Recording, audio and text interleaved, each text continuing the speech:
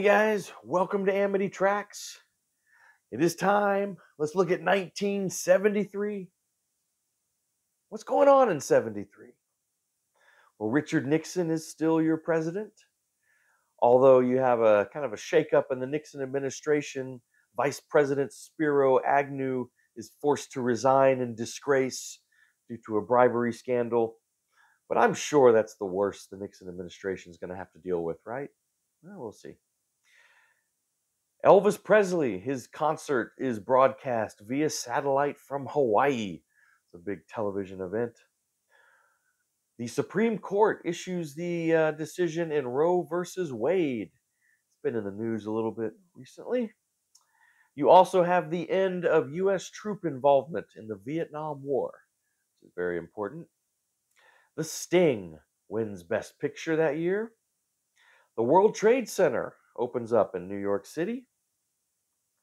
You have the Summer Jam at Watkins Glen, one of the biggest music festivals ever. and what was it? The Grateful Dead, the Allman Brothers, and the band all headlined there. And finally, Bruce Lee dies suddenly, shockingly, in 1973.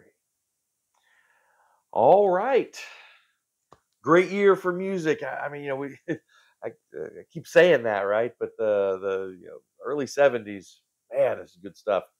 Let's kind of go through quickly. I'll try and go through quick. Some honorable mentions here before we get into what I consider at least my top ten for 1973. Grab these here. All right, honorable mentions.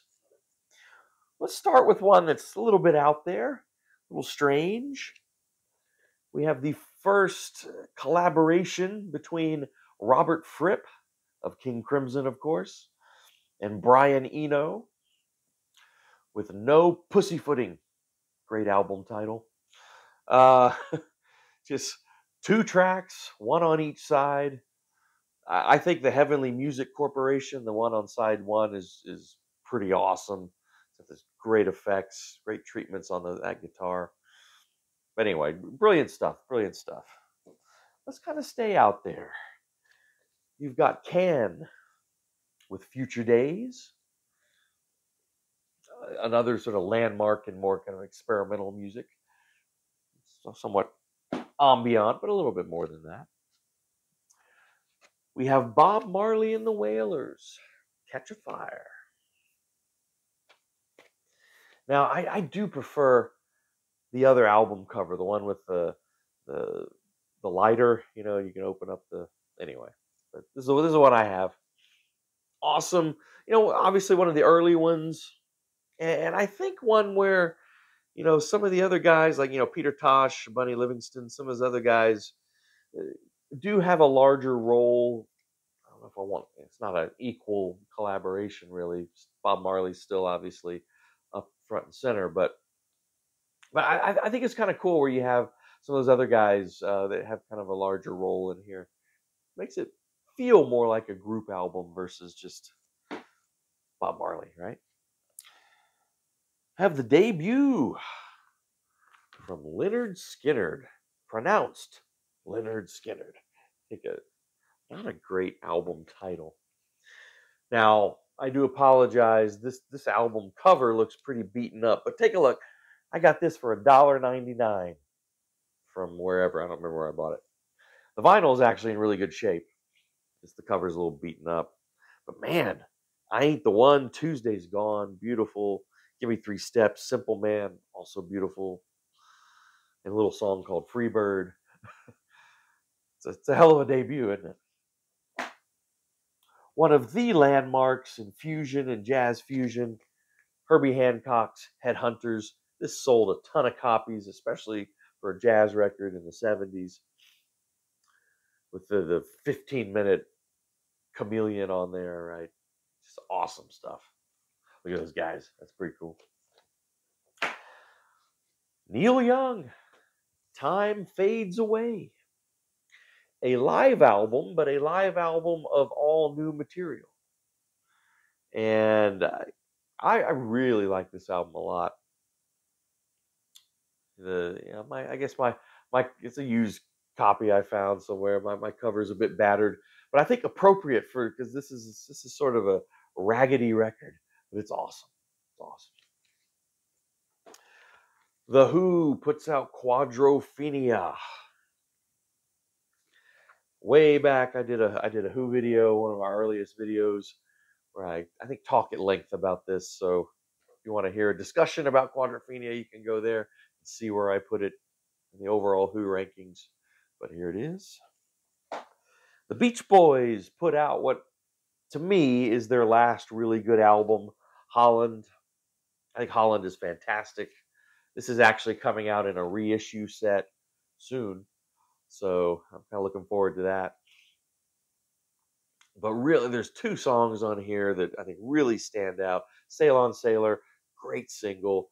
But The Traitor, just one of those Carl Wilson, such a great Carl Wilson song. I love that song.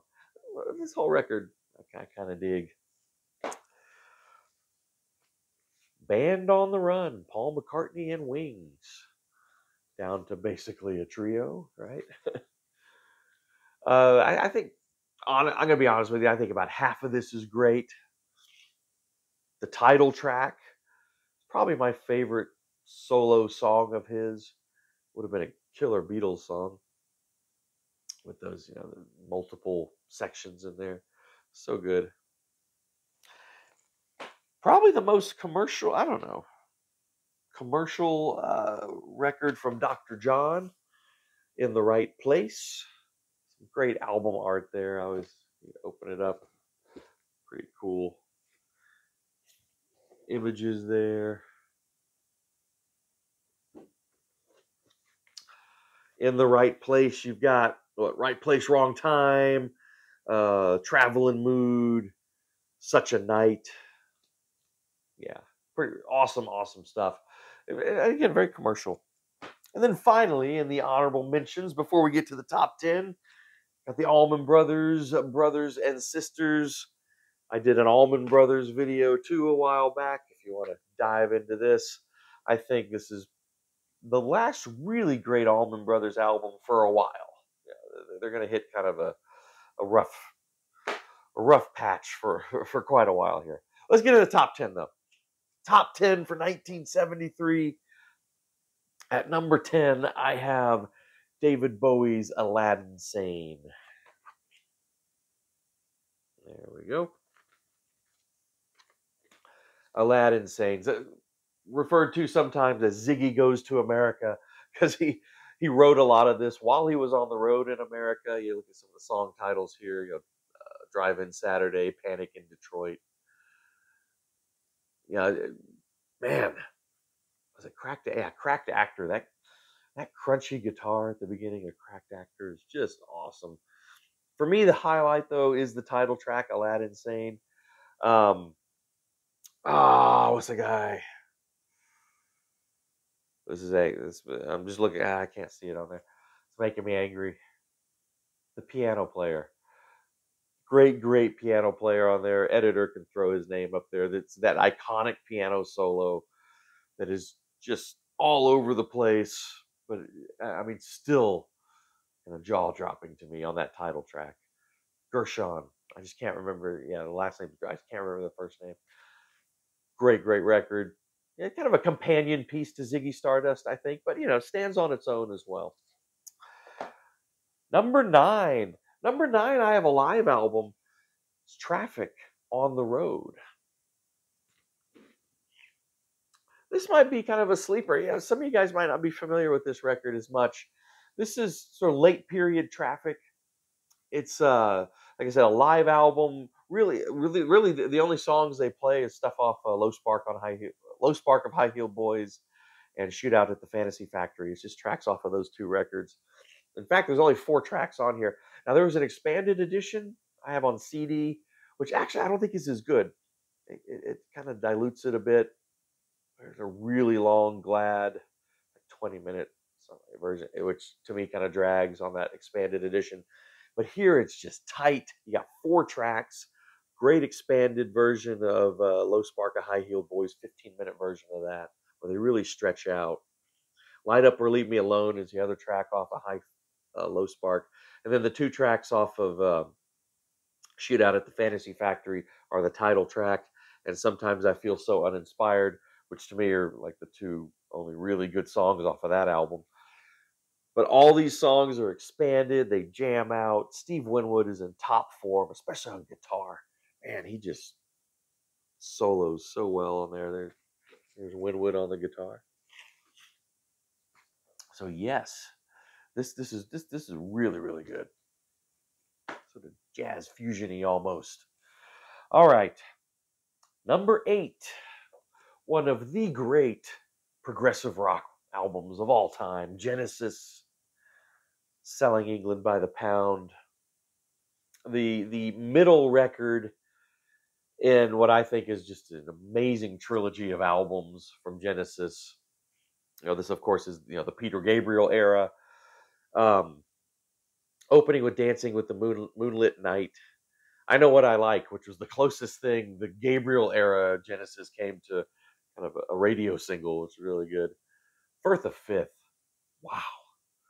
That the guitar from Steve Hackett on that, that kind of extended, you know, last section of that song was just phenomenal. Cinema show one of the great progressive rock records. So at number seven, we have the second record from Roxy Music. There they are. For Your Pleasure. Always great uh, album art from Roxy Music. Now, th- this is the, I-, I think the story of this record is, you know, the clash of the Brians, right? Bryan Ferry and Brian Eno. This is the the last. You know, Brian Eno was only in the band for those first two records. This is the second one. He would leave due to creative differences. But I think what makes this record intriguing in a lot of ways, I, you know, they made great records after Eno left. You you will see them in some you know, in the next years coming up. But what makes this record, I think, unique and intriguing is is that that creative tension between Bryan Ferry, I think, trying to take the group into more kind of mainstream commercial, uh, you know, path, and and Eno, with you know, being Brian Eno, right? You know, so so you have, you know, you've got Do the Strand, Beauty Queen, Editions of You, these great, great songs, kind of more straight ahead songs. But then you know you got something like The Bogus Man, right, which uh, has all these amazing you know treatments. And I, I know, I know, people are split on the bogus man. I, I think the bogus man is fantastic, though. I love it, love it, love it, love it. All right, number six. We have Led Zeppelin's Houses of the Holy, which sometimes on YouTube people get tagged for showing this album cover, so we do have to censor part of it. Whatever. I'm not a big fan of the album cover anyway, but love the album. um, I think one of their more eclectic records. You got stuff all the way from you know like the Rain song, then going into you know the Ocean, which is awesome, Dancing Days, which really works. Uh, Jamaica, I don't know if that quite works. They're sort of leaden attempt at, at reggae. Uh, I don't know. Some a lot of people like that song. To me, though, the, highlight is definitely over the hills and far away. Yeah, I, I know that song has shown up on Zeppelin compilations, but I still don't think it gets uh, enough attention and appreciation. I, I, think that song is a brilliant hybrid of kind of folk and hard rock. So yeah, Led Zeppelin, Houses of the Holy. At number five, I think we have one of the more, I think, challenging, at least in the mainstream, progressive rock albums, but well worth it. Incredible. Talking about King Crimson's Larks' Tongues in Aspic. You know, in my view, the I, I, guess the the beginning of that sort of second phase of King Crimson, where you have that core trio, you know, Robert Fripp and John Wetton and uh, Bill Bruford, right? And then on this one, you also have David Cross and Jamie Muir. Muir would leave, and then after the next album, David Cross officially leaves, and then you know, then you're down to the trio, and then and they break up and come back together later. But uh, but so the beginning of this second phase, I don't know if I've heard any record with such dramatic dynamics, just in, in sound and recording. You know, from just a whisper to just you know crashing into you, yeah, and the complexity of these these compositions, you know, especially Larks' Tongues in Aspic, you know, part one and then part two, just awesome. I saw Crimson 2017 live, and they opened with Larks' Tongues in Aspic Part One, and I was just in, in heaven. I was in paradise. It was so good. But Exiles is great. Easy Money is a classic Crimson tune. The talking drum is cool. How that slow, real slow fade in, and then uh, you know goes into Larks' Tongue in Aspic Part Two. Just if you want great, challenging progressive rock, hard to beat that. All right, coming in at number four. I told you guys that you know, when I, I think I featured their their debut before. You know, you'll be seeing their albums here. Steely Dan's Countdown to Ecstasy. You know, when they were still kind of a band and not just you know Donald Fagen and Walter Becker and then killer session guys. They were, I think they were still putting themselves out there as a full band here at this point. But man, I mean, my favorite track on here is Your Gold Teeth when the, when the band really stretches out on that song. But I mean, you got Bodhisattva, Showbiz Kids, My Old School, Razor Boy. Yeah, just, just impeccable, tight Steely Dan record. All right, top three. Now, the two of these three I have already talked about in previous videos, so I'll, I will not go too long on these. But at number three, I do have, I think, the definitive 70s ZZ Top album, Tres Hombres. If you want to know the great, well, the greatness of this trio, but really the greatness of Billy Gibbons on guitar, right here, man. I, I mean, the album art here in the middle here just says it all. That beautiful, greasy plates of awesome Tex-Mex food that this is the music herein. Um, I've been waiting for the bus, and Jesus just left Chicago. There's two great songs that always go together. You know, join Beer Drinkers, Hellraisers, Master of Sparks, La Grange, of course, is on here. Uh, there's not a bad, there's not a bum track on here. This, this is, this is just, I mean, blues influenced rock at the highest order right here. Number two for 73 should be number one. If I were doing some sort of objective list, yes, this would be number one. My, you know, this is a personal list. Yeah, as all these are, right? You know, so my number one uh, on this list, I, I, I, I can't have anywhere else but number one. But this one, you know, objectively should be. And I, you know, what am I talking about? Of course, I'm talking about the cat my cat is tearing up my Neil Young poster. Hang on. Get over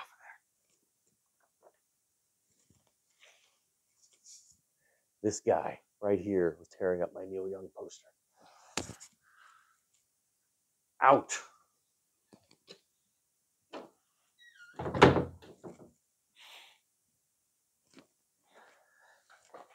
You take them in, you take care of them, and what? How do they repay you? Where was I? Pink Floyd's Dark Side of the Moon was where I was. Probably the most cohesive record ever. I don't know. I, I mean, what do you say about Dark Side of the Moon? I'll say a lot because not here, but I'm going to do a Pink Floyd, you know, ranking soon. I, actually, I, I, recorded one a long time ago, but it, it was early in this channel's history, and I think I can do a much better job now. I think I gotten better at this, so I'm probably going to redo it. But we will do a Pink Floyd video sometime soon. Obviously, this will be discussed, but I mean that. But just for me, my number one for 1973 has got to be Springsteen's, Bruce Springsteen's The Wild, the Innocent, and the East Street Shuffle, his second record. Now, we just finished Springsteen week here on this channel. So you've gotten your fill of Springsteen. I don't need to go too much into this, but just briefly, in case you skip those videos, um, this is his second record. I think this this lineup of the E Street Band is key because these two guys here, Vini Lopez and then David Sancious, this is their last record before they're out of this band.